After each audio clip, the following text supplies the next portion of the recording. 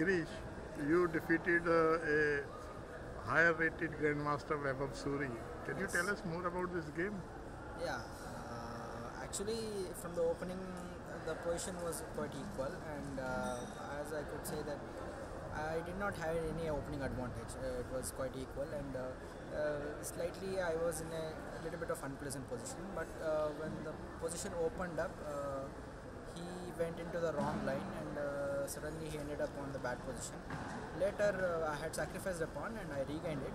So we then uh, uh, went on to the end game where actually uh, it was a bit equal but I had uh, an upper hand so it was I who could try for a win then uh, he made some mistakes and suddenly he was he was in the worst position I couldn't.